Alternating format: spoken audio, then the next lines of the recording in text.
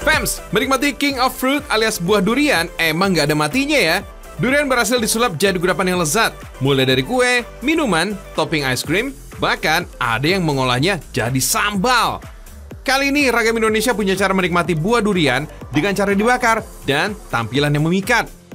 Seperti di salah satu rumah makan di Dusun Sumber, Desa Wonosalam, Kabupaten Jombang, Jawa Timur ini nih fams. Datang ke kedai ini, pengunjung disuguhi banyak pilihan durian dengan berbagai ukuran dan jenis. Dari berbagai jenis durian seperti bido, bajol, dan montong.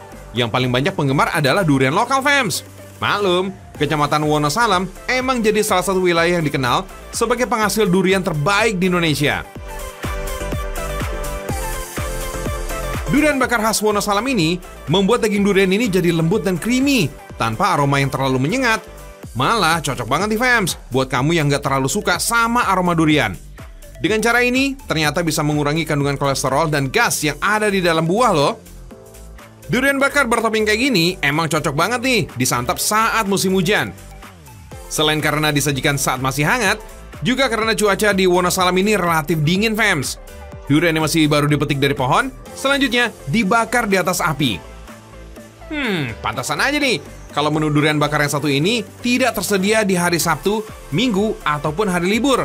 Soalnya Bu Sulami ini merasa kewalahan karena banyaknya pesanan dan proses pembakaran yang nggak sebentar, fans. Satu buah durian dibakar selama kurang lebih 20 hingga 30 menitan atau sampai warna kulitnya hitam legam. Fams, meskipun melalui proses pembakaran, duriannya nggak ada aroma-aroma sangit gitu, Fams. Pecinta durian ini lebih histeris karena jadi lebih gampang untuk membuka kulit durian yang keras. Fans, durian bakar milik Bu Sulami jadi inceran banyak pelanggan karena ditambahkan ketan putih, buah anggur, jeruk, dan kelengkeng.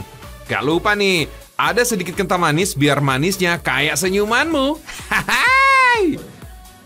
Oh iya, gak semua buah loh bisa ditambahin ke durian bakar ini, fans. Cuma buah-buahan yang punya rasa segar dan gak terlalu manis untuk menghindari rasa manis yang berlebihan.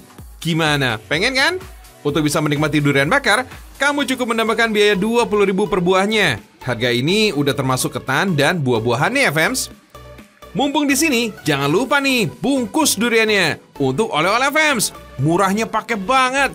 Bayangin aja, 100 ribu bisa dapat sampai 5 buah.